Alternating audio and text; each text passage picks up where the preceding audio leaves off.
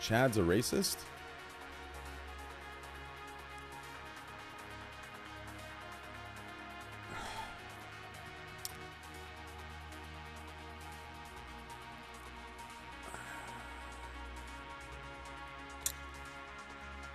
So is your logic so so your logic is since Chad said it with a hard R, he's a racist, correct?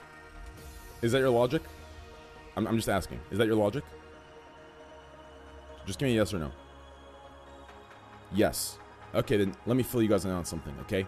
Every single big streamer on this platform, minus maybe 30 of them, are all racist.